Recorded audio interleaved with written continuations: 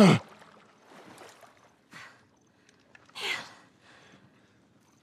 shot the hell out of that guy, huh? Yeah, you sure did. I feel sick. And you just hang back like I told you to.